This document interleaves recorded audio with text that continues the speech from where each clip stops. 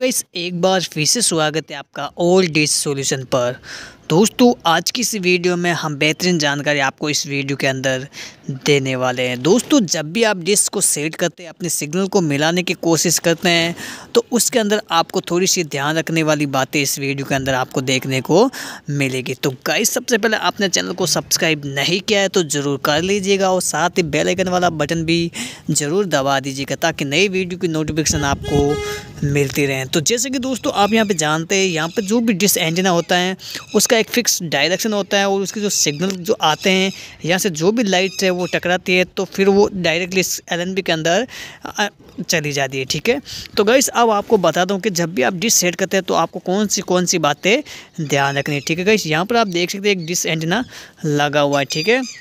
तो गाइस आप जब भी अपने डिश को सेट करते हैं तो कभी भी आप अपने डिश के सामने, अपने डीटीएस किसी भी छतरी के सामने खड़े होकर डिश को सेट ना करें। जैसे कि दोस्तों, आप यहाँ पे देख सकते हैं, आपको ऐसे पीछे खड़े हो जाना है और उसके बाद में अपने डिश को सेटअप करना है। जिस वो सिग्नल आ रहे हैं, वहाँ हमेशा सामने खड़े ना रहे। अपने डिश को हमेशा पीछे की ओर से ही खड़े रहकर अपनी डिश को सेट करना है। ठीक है गाइस ऐसा करने से दोस्तों, ये होगा कि अगर आप सामने से ऐसे कुछ बैठ के करेंगे, ऐसे इस एलएनबी को पकड़ के करेंगे या फिर कुछ करेंगे तो इसका जो सिग्नल है वो लॉस होता रहेगा वो बिल्कुल भी नहीं आएगा। ठीक है गाइस तो गाइस यहाँ पर पहला पॉइंट ये हो चुका है। अब दोस्तों, जो सेकंड पॉइंट है, वह होता है हमेशा दोस्तों एल बी पोजिशन ठीक है? गाइस आप क्या करते हैं? जैसे ही आपकी छतरी पर कुछ कंजक्शन आता है, कुछ वजह होती है बंद हो जाती है टीवी तो उसमें आप क्या करते हैं? डायरेक्टली जाकर अपने एल का जो पोजिशन होता है, वो बिगाड़ देते हैं, ठीक है गाइस कभी भी अपनी छतरी अगर नो सिग्नल हो जाती हैं तो आपको अपना एल का पोजिशन है, वो बिल्कुल भी नहीं छेड़ना है। क्योंकि दोस्तों, ये जो एल होता है, ये तो अपनी जगह एकदम सही से कसा हुआ होता है, लेकिन जो प्रॉब्लम होती है, वो कोई दूसरी हो जाती है।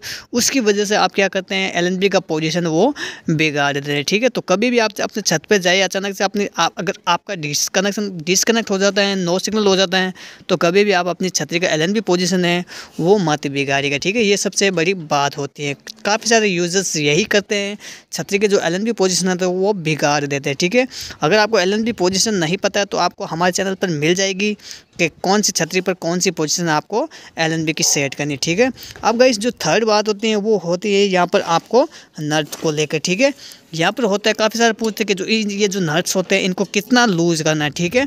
क्या करना है, इसको लूज़ करना है या फिर नहीं करना है या फिर ऐसे ही छतरी को मरोड़ना तो दोस्तों मरोड़ोगे तो छतरी टूटने का दर ज़्यादा रहता है, ठीक है?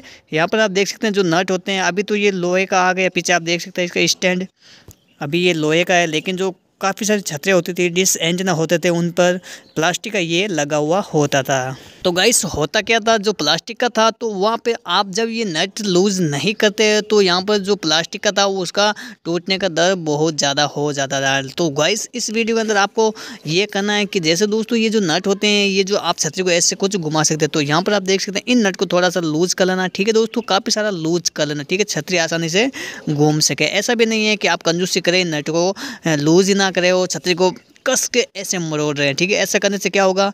ये जो छतरी होती है, इसके अंदर बैंड हो जाता है। बैंड होने के बाद क्या होगा? जो सिग्नल है, वो लॉस होने लग जाते हैं, ठीक है? पूरे सिग्नल नहीं आ पाते। तो ध्यान रखना, आपको ये जो नट होते हैं, दोनों तीनों, ये आपको लूज करने हैं, ठीक है? और दोस्तों, ये भी नट होते हैं, ये ऊपर नीचे करने वाला डायरेक्शन को, इसको मूवमेंट ऊपर नीचे की ओर तो इनको भी आपको लूज़ करना है। इतना लूज़ करना है जिससे आपको आसानी हो अपनी छतरी को मूवमेंट करवाने के लिए, ठीक है? गाइस ऐसा नहीं है कि आप कंजूसी करते रहे नट के अंदर और ये बिल्कुल भी मूवमेंट ना करे, थोड़ी बहुत हिले डुले और ये छतरी है जो इसका एंगल है वो ख़राब हो जाए। आपको ध्यान रखना, ये जो गोलाकार, अंडाकार ये छतरी है, इसका पोजिशन ही इस तरीके से बनाया गया है ताकि जो भी लाइट्स होती हैं वो डायरेक्टली इसके अंदर घुस जाए एल के अंदर, ठीक है? इससे क्या होगा, जो सिग्नल होते हैं वो पूरे आ जाते हैं। हालाँकि दोस्तों अलग अलग चैनलों को अलग अलग फ्रिक्वेंसी सिग्नल होते हैं, वो सभी के सभी ये जो एल होता है, ये ऑब्ज़र्व करता रहता है, ठीक है? तो ये हो चुका आपका चौथा पॉइंट कि आपको अपने नट हैं वो बिल्कुल भी लूज करके इस छतरी को मूवमेंट करवाना, ठीक है? अब गई सबसे बड़ी जो बात आती है, वो आती है डिग्रीज यहाँ पर आप देख सकते हैं डिग्रीज लिखे हुए आते हैं, ठीक है? यहाँ पर मैं थोड़ा आपको पास में ले जाकर दिखा दूँ, ये देखिए। यहाँ पे एटी, सेवेंटी, सिक्सटी, फिफ्टी, ठीक है? यहाँ पर आप ये डिग्रीज देख सकते हैं, ठीक है? अब काफ़ी सारे यूज़र्स जो हमें कमेंट करते हैं कि आप ये बताइए कि जो हमारी छतरी हैं डी डी फ्री डीज कोई भी हो या फिर एयरटेल टाटा स्काई उसका जो डिग्रीज रहता है, वो कितना रखे हम यहाँ पर आप देख सकते हैं, ये जो नट कसा हुआ है, इसके बीच में ये एक लगा हुआ है वाशर उस पर यहाँ पे यहाँ पे जो एरो दिया हुआ है, ठीक है? दोनों में जो डिग्रीज के लिए ये अंकित करता है, ठीक है? अब ये जैसे ऊपर नीचे करेंगे, ये डिग्रीज के साथ साथ में चला जाएगा। देखिए, अब यहाँ पे सिक्सटी पे आ चुका है। ठीक है, यहाँ पे सिक्सटी पे आ चुका है ये एरो तो अब काफ़ी सारे पूछते हैं कि जो ये ये जो होता है डिग्रीज ये हमें कितना रखना है अपने डी डी फ्री डिश के लिए? तो गाइस ऐसा कुछ भी नहीं है। ये कब काम करेगा? ये तब काम करेगा जब आपका ये स्टैंड होता है। ये पूरा स्टैंड आप देख सकते हैं, पत्थर पे कसा हुआ है।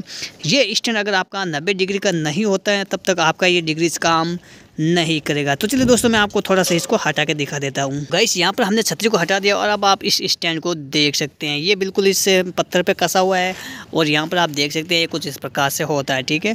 अब गाइस होता क्या है? जब ये जो स्टैंड होता है, ये अगर सही तरीके से नहीं लगाया जाता है तो इसका स्टैंड का जो भी डिग्रीज होता है, वो सही नहीं हो पाता। इसकी जो होती है दोस्तों डिग्री वो है नाइन्टी या नब्बे डिग्री के कोण पर ये एकदम सीधा होना चाहिए। अब आप ऊपर से देख सकते हैं यहाँ पर ये नगे, नब्बे डिग्री का अगर है या नहीं है तो फिर आपके लिए ये डिग्रीज काम नहीं करेंगे। हालाँकि दोस्तों, आप यहाँ पे देख सकते हैं, ये पत्थर पे लगा हुआ और पत्थर है जो यहाँ पे जो ये रेत है, वहाँ पे यानी ऐसे ही पड़ा हुआ है कुछ इस प्रकार से आप देख सकते हैं।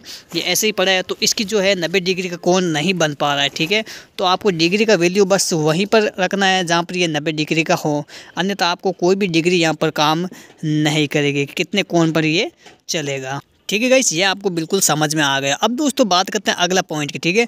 तो गाइस आपको इस किनारे पर ध्यान रखना, अपनी छतरी को इस किनारे से देखना और उस किनारे तक देखना। आपको लगना चाहिए कि आपकी छतरी एकदम गोल आकार में ऐसा नहीं कि आपने ऐसा किया और आपकी छतरी जो कौन है, ये जो बीच बाहर का एंगल है, ये थोड़ा मुड़ा हुआ हो या फिर छतरी कुछ मुड़ी हुई हो तो आपको थोड़ा सा उसको सीधा करना, ठीक है गाइस ऐसे करने से आपके सिग्नल की क्वालिटी बहुत ज़्यादा आ जाएगी, ठीक है? आपको एलएनबी का जो स्टैंड है एल एन बी इसको बहुत आराम ये एलएनबी का आराम है दोस्तों। अगर ये भूजा एल की भूजा है वो भी ऊपर नीचे ज़्यादा है तो आपको ये भी चेक कर लेना कि आपकी जो भूजा है, वो एकदम सही है या फिर आपको ऐसे कुछ लग रहा है। यहाँ पर आपको देख लेना कि कहीं बैंड तो नहीं है ज़्यादा, ठीक है? ऐसा कुछ बैंड होगा तो आपको लगेगा कि भी छतरी ठीक है। अगर लगेगा आपको कि बैंड है तो उसको थोड़ा सा सीधा कर लेना, ठीक है? तो गैस ये थी मेन पॉइंट जो छतरी के बारे में, ठीक है? अब हम अगले वीडियो में भी बात करने वाले हैं। बहुत ही अच्छे से अपडेट आपके साथ में। लाते रहेंगे। तो चलेगा इस वीडियो पर नए तो चैनल को ज़रूर सब्सक्राइब कीजिएगा और शेयर ज़रूर कीजिएगा। हम मिलते हैं नेक्स्ट वीडियो पर। तब तक के लिए जय हिंद, जय भारत।